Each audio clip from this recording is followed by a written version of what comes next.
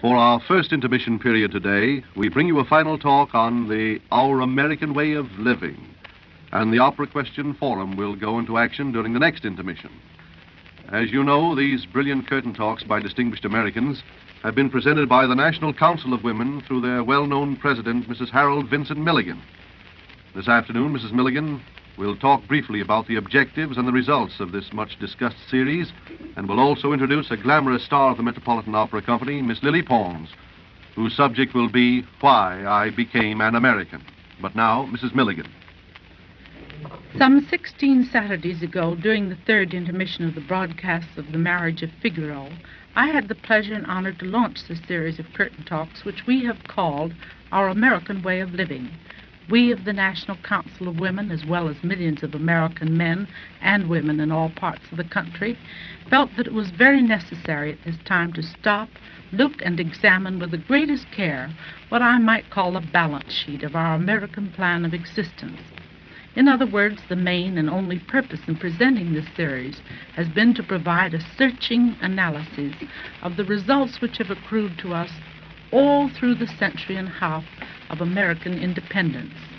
Americans may and do disagree politically and often economically, but all Americans are at one in their urgent desire to know the truth about our country and in their united determination to maintain and build these truths into a glorious future. We of the National Council of Women were by no means alone in our conviction that the sum total of this examination would be news so good, so forthright, and so encouraging that knowing it, all Americans would be better fortified to face the problems of today and tomorrow. And that, in essence, is what we hope the vast audience of opera listeners have learned from the brilliant parade of information which we all have been privileged to hear and absorb during these weekly broadcasts. We hope that these talks have strengthened the resolve of all of us to resist those voices whose only purpose is to play upon our emotions in order to incite prejudice and hatred and so destroy our national unity. The great scientists, artists, poets, and businessmen who have brought us the incontrovertible facts about our American way of living have proven beyond any argument that in our American system of free initiative, freedom to think, say, pre, pray, and do, we have at hand in serviceable condition the mightiest instrument for peace, happiness, and reasonable abundance that the world has ever seen. As many of our speakers have said, it is not a perfect instrument, but why should it be? If there were not imperfections in it, we would really have no goal ahead to work for. The great men and women who have appeared here each week have come with only one idea, and one idea only, and that was to bring to each of you and to all of us a true and factual report on the specific aspect of our American way of living which has been assigned to them. Dr. Robert Millikan talked about our inventive fertility, Herbert Hoover about our American democracy, Mrs. J. Borden Harriman about our American home, and Philip D. Reed about our American initiative. The important subject, Is Our American Democracy Efficient? was given to Robert E. Sherwood, Our Longer Life to Dr. Thomas Parran, and Our Moral Preparedness to Dr. Robert Hutchins. Abram Flexner, Carl Sandburg, Mrs. Sadie Orr Dunbar, David Sarnoff, Walt Disney, Karl Compton, and H.W. Prentice, Jr. brought us the facts on other subjects of equal importance. One extremely important viewpoint has been left for today, our final broadcast in this present series. It is the viewpoint of the millions of Frenchmen, Germans, Italians, Swiss, Irish, Greeks, and others who as citizens have become integral and honored parts of this great country we call America. Why did they come? And what did they find? And in comparison with what they had previously known, how do they like it? To speak for this great group who were once foreigners, but are now Americans in spirit and in law, we can think of no more popular or distinguished representative than the world famous daughter of France, who ten years ago came to this country as a young, untried, and relatively unknown singer. I am referring, of course, to the gracious lady sitting here beside me, who was christened Lily after the French national emblem, the fleur de lis, and who is known far, near, and wide as Lily Pons. Mrs. Milligan, I am naturally honored to be asked to talk about what a few months ago I would have called your American way of living, but which I now have the right to call our American way of living. You have had such brilliant men and women before me that I feel that neither my brain nor, most sure, my accent served me very well today, but I will try. You know, Mrs. Milligan, I have only been an American citizen a short time, but I have been seeing that America means since the day ten years ago when I first saw the skyline of New York. I think I felt American on that very day.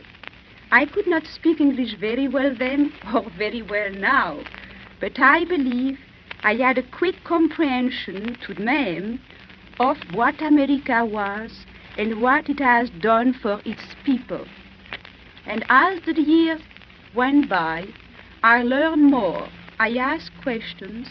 I saw with my own eyes. So then I knew that this country to Lily Pons was home. And it is very good to have this opportunity to tell so many people that I believe about America. Miss Pons, what was your first impression of a country which in so many ways must have been so strange to you? In 1931, when I came to this country, a stranger, quite a little bit frightened, America mm. held out her hands to me and said, Welcome, Miss Lily Pons. You wish to sing? Bon. Come in and take off your hat and let's see what you can do. That is the exact truth. And I soon discovered that this was not just an exception made for Miss Lily Pons. I saw it happen over and over again.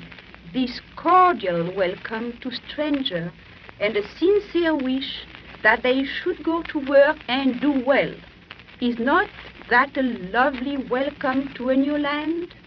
If you heard the talk of Dr. Flexner on our American freedom, you may recall that he spoke of this American open-mindedness in the following words.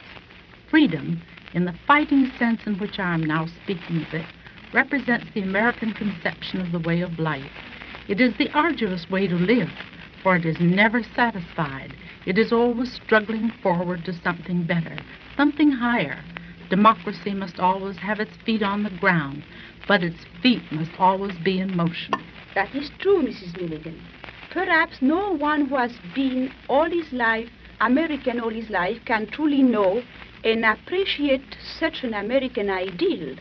You must have come from abroad to know the great difference between countries that look chiefly to their tragic past and our America, which, because of its still young and glorious past, can afford to look happily and bravely to its future. The creative mind, looking always ahead, simply must turn to America for its nourishment and its tools to work with.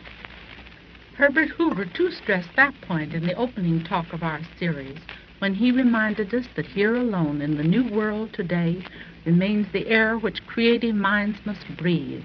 Here alone is the dignity of men and women still protected in this, the last sanctuary of the ideals of civilization. Yes, I think all people today wish, oh, so ardently for a homeland where there is still laughter and where one has good reason to hope. Not only singers, writers, and artists, but all people with the artistic need to build. Wood carver, leather workers, lace makers, all the skill which America has admired in other lands. Yes, America has earned the right to take the responsibility for the future of music, of art, and maybe even of civilization itself. But isn't that a terrible responsibility for a country to accept? Yes, but I'm glad that America must take that burden. For I believe that America today really does not think of it all as a burden. There is something here born out of all these different races living together in the new world, which has the esprit, spirit, to march ahead with freedom and justice for all. America will not let what happened abroad happen here. I know it. Europe is different. Over there, too must come a complete rebirth of spirit. For everywhere you look are the ugly scars of past wars, monuments, ruins, daily reminder of all hates and all jealousies. There is hardly a foot of ground which has not been watered with blood. French farmers, for instance, turn up all weapons and shells wherever they plow. But here in America it is so different. Over here we have not this destroying heritage of hate and war. We know that men and women of all races and all kinds can live together and work together in peace and in harmony. America not only knows this, but she has proved it. This, I think, is the very most important pattern of life which America has to offer the rest of the world, and probably the one thing which America, in her inner heart, values the most. Robert Sherwood certainly agreed with that thought, Miss Pons. In his earlier talk at this microphone, he even went so far as to say, and I am quoting, We value our way of living more than we value our fortunes or our lives. It is that spirit which has animated the whole story of American progress. But not all Americans know this truth about their own glorious country. You must, every one of you, know and appreciate more all these wonderful things you have. Don't be careless with them. Don't allow yourself to be divided by things which are only of temporary importance. In patriotic unity is your strength, regardless of what kind of decisions you make for tomorrow. Know what you are fighting for, said President Hutchins of Chicago in his talk. Truth, justice, and freedom can only conquer if you know what they are and are devoted to them with your whole heart. Bon, but that is well said. I wish I could show you the difference in the tired, all countries of Europe. In every land and island and continent of the earth, people today are praying for our American future because it is their only hope of any future. And to them I would say, mes amis, have no fear. I know America.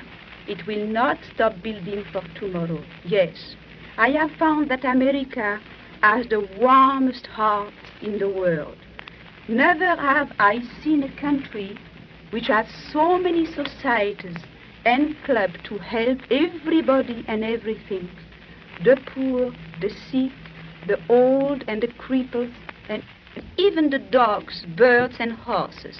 But you have the most beautiful roads and parks. You have music and dancing everywhere. You have thousands of fine schools filled with hundreds of thousands of well-fed, smiling American children. American children who represent all the race of the world. Here they learn together and play together, and tomorrow, God willing, they will work together. And these, my dear friends, are the reason why I love America and why Lily Pons became an American. For the National Council of Women and all of us, may I say, thank you, Miss Lily Pons. And our thanks, too, to all of you of this great radio audience who have so enthusiastically received and supported these vital curtain talks. And once again, our deep gratitude goes to the Texas Company, whose generosity has made possible this reaffirmation of the benefits we enjoy from our American way of living. Thank you, Mrs. Harold Vincent Milligan and the National Council of Women for this splendid series which has been brought to us under your auspices. Today, our Opera Question Forum has its last session. And sitting opposite me are three eminent persons who look as if they were just brimful of sparkling, absorbing things to tell us about opera. One of them is a new shining star of the opera world, a young American coloratura soprano whose name was added to the Metropolitan roster last December and who made her debut uh, just six weeks ago tonight, singing the prima donna role of Gilda in Rigoletto. She is Josephine Tuminia, and we're extremely happy to welcome her to the Opera Question Forum. Miss Tuminia, I know what a slow and often discouraging road a young singer must travel. Tell me, how does it feel to have arrived? Well, if you think I have arrived, that's all right, but I think yet I have to arrive. I It'll be a long time. I think you're too modest. Your audience No. says that you have arrived, and having arrived, I hope you're with us for many, many moons. Thank you. Another of our guests today is the noted composer and music critic Virgil Thomson. Mr. Thomson, among other things, is the composer of an American opera, Four Saints in Three Acts. And during this past winter season, as music critic of the New York Herald Tribune, he has been providing his readers with provocative and stimulating music reviews. I'm just wondering if we're taking a risk in putting an operatic soprano and a music critic side by side. You think we should be careful about that, Mr. Thomson, as in the old game of keeping the missionaries and Indians apart? Who's the missionary and who's the Indian? well, I don't know. I think the critics are usually the scalpers, aren't they? We seem to be getting on all right so far. well, from your criticisms, you, uh, I think you rather like Miss Tuminia, and I'm glad it's that way. Otherwise, it might be rather embarrassing for both of you. Our third guest is a man who has achieved a distinguished career in more ways than one. He is Frank Black, General Musical Director of the National Broadcasting Company. The musically minded members of our radio audience know his work in several fields as a conductor, especially as a pioneer in concerts of music for strings, and also as a transcriber, a composer, and a pianist. By the way, Dr. Black, this new weekly program of yours called New American Music is arousing quite a stir in musical circles, isn't it? Yes, we've been getting quite a few letters, about five or six hundred a week. We're asking for criticism, by the way, of each of the concerts or pieces. Which reminds me that I have a young friend who wishes to submit some manuscripts to add to the voluminous amount you already have for Thank perusal. you. Well, uh, I think we're ready for our questions now, so let's go with ahead with the first one. Uh, Miss Jane Orson of Chicago, Illinois, wants us to name at least six reasonably important opera characters who in the operas play the parts of professional musicians. Any hands? Mr. Tuminia. Uh, may I say Don Basilio, the music teacher in the Barber of Seville? Well, that's right. Well, uh, how about the ten trumpet players in Lohengrin? well, they play pretty well. They're professionals, and they're on the stage. I suppose we can count them. Uh, uh, The three Thompson, just now and Aida. The three. That's just no, six, I mean. Well, how about um, how about professional singers? There are quite a number of singers too. Uh, may Mr. I? Uh, Hans Sachs and Meistersinger, could that be Well, considered? How about he was a Siegfried? professional cobbler, rather, wasn't Ah. he? How about Dr. Siegfried? He played the horn. Was he a professional musician? Well, I don't know. It sounds like it usually. well, I don't know. I'll count that out. Miss Tuminia. Uh, Floria Tosca from the Tosca Opera was an opera singer, yes. And how about La Gioconda, who was a ballad singer? How about the our friend uh, in the uh, in La Boheme? Oh, Schaunard. Schaunard. That's right. Sure. And the master singers of Nuremberg, well, perhaps they were amateur rather than professional. Well, Tannhäuser and Wolfram in Tannhäuser were certainly uh, musicians. Mr. Milton Hale of uh, Springfield, Massachusetts writes, I hear the leading characters in opera all play their parts in precisely the same traditional manner. Identical gestures, the same movements on the stage, and the same tempo in their vocal parts. Is this usually true? Mr. Thomson. It used to be more or less true in the Italian and French uh, provincial opera companies because that enabled uh, traveling uh, stars to fit into a local company with practically no rehearsal. It was uh, always a uh, second class practice, uh, embalmed under the name of tradition, uh, but it was a very convenient practice. It doesn't exist very much today, except in the case of the Wagner operas, whose, of which the interpretations are pretty strictly traditional, as determined over a 50-year period at Bayreuth under the leadership of the composer's widow. Thank you very much, Mr. Thomson. Here's a letter from Miss Alice Oliver of the city of San Pedro de Macorís in the Dominican Republic, who writes, In this far island, you may be interested to know that the tones of your broadcast come in remarkably well. I would like to ask your guests this question. Are there any operas in which the music of more than one composer is used? Uh, Dr. Black. Yes, there are um, the singing lesson and the uh, Bar of Seville, Yes. the uh, Last Rose of Summer, which is sung in uh, Martha, isn't it? Interpolated Yeah. Martha, yes. On the other hand, Well, let me see. No, that's about all I can think of. In Madame Butterfly, uh, there is a brief reference to the Star Spangled Banner at the mention of whiskey and soda in the text. yes, those fragments of the Star Spangled Banner, right? and there are many references to the Marseillaise in uh, various French operas. Uh, but the, the reference to national anthem uh, is in operas are very common, as a matter of fact. Yes. Any others? How about uh, Prince Igor by Borodin, which was finished by Rimsky-Korsakov and Glazunov? And Turandot by Puccini, I'm told, was completed by Alfino. Alfano, yes. Alfano, is it? Yes. Alfino. I have an eye as to the name. And Boris Godunov by Mussorgsky was reorchestrated by Orchestrated, yes, by with Rimsky-Korsakov. Dr. Black. Mrs. M. DeLong of Wyndmoor, Pennsylvania, wants to know why it is that a flute or piccolo is always chosen to accompany a coloratura soprano who wants to sing an aria. Uh, when she sings an aria, rather. And is this invariably done in every opera for a coloratura soprano? Miss Tuminia. Well, in most of the coloratura operas, but I wouldn't say all of them, and I think because it's more or less a challenge to the voice. The coloratura voice is the only human voice, I think, similar to the flute. Yes, it's probably more closely attuned to the quality of Yes. the soprano voice. Uh, do they use a piccolo sometimes? Well, I've never heard of a piccolo being used. I haven't either. Have you, Mr. I've heard of Thomson? clarinets.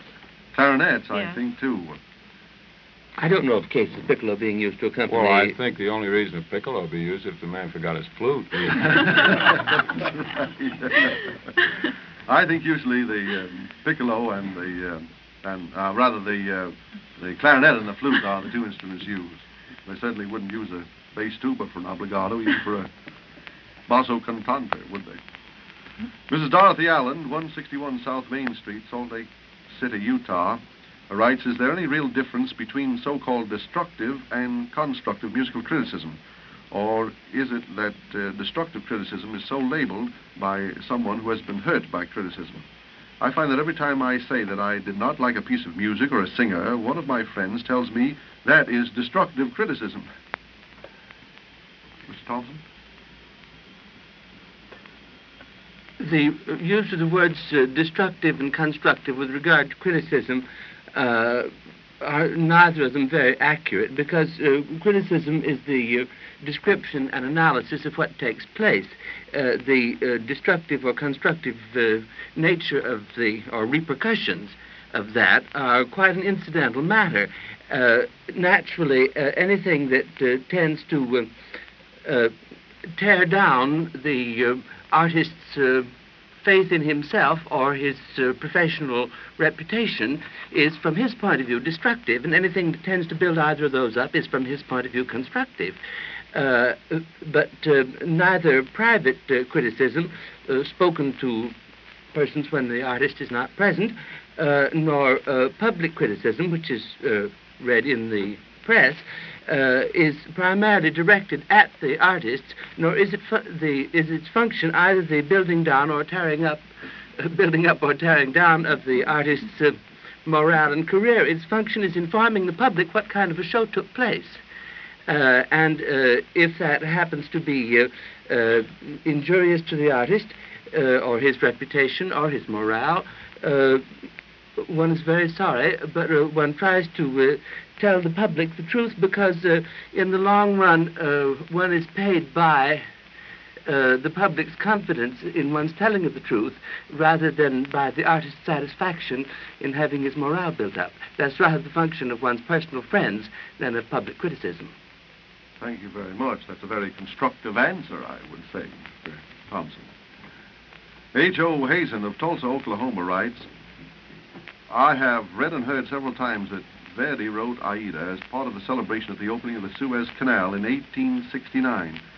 But in the musical encyclopedia, I find that it was written for the opening of a new opera house in Cairo. Can your guest tell me which is correct? Was it open the gates to a surge of waters or a surge Oh, of okay. opera lovers? Dr. Black. Well, I think both are correct.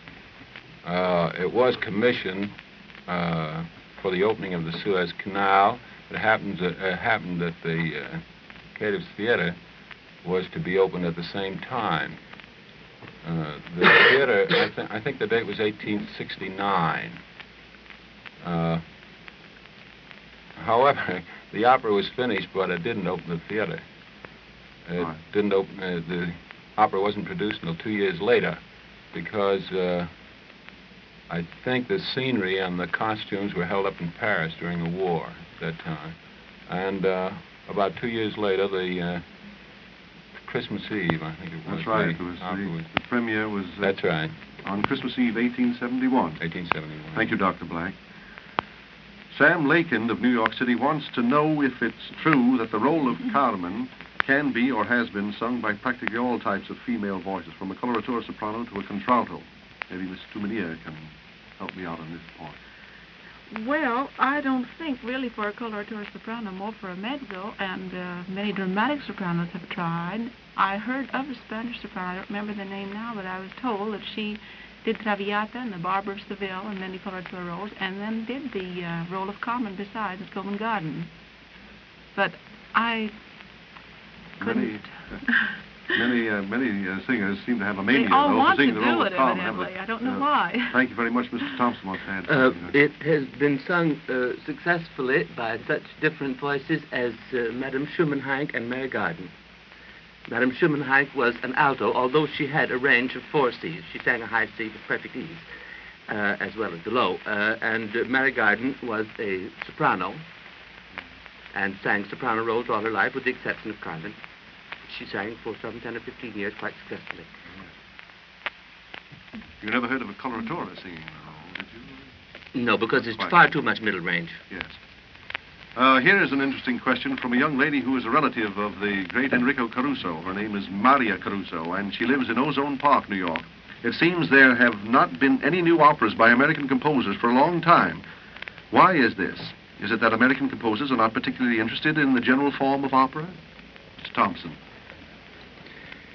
The correspondent states that there have not been uh, any American operas for a long time. He left out the verb. Does he mean there have not been any written for a long time or produced for a long time? If he means written for a long time, I think he is in error. If he means produced uh, for a long time, I think he's probably quite right. And if he wants to know why, I think the, prob- the question should be addressed to the management of this and other operatic institutions rather than to me. Because I'm a writer of operas, not a producer of them.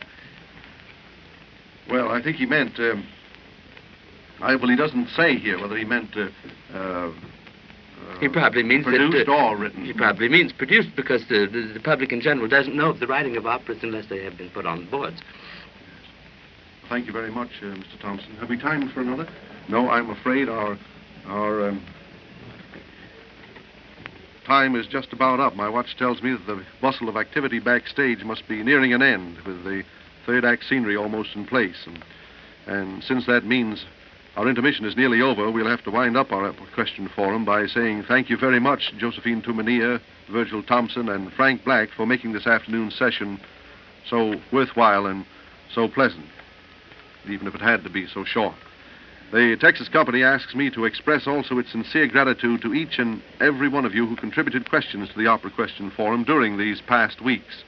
Whether or not your questions were used, we appreciate your interest and help in giving us your ideas, and we hope that you have found these periods of opera information enjoyable enough to repay you for your effort. To each of you, whose names uh, and questions I read this afternoon, the Texas Company is sending by way of thanks a special Victor album of Red Seal Operatic Records. And now from opera in general to the particular opera which the Metropolitan is presenting this afternoon. Verdi's great musical story of love, jealousy, and tragedy in ancient Egypt, Aida.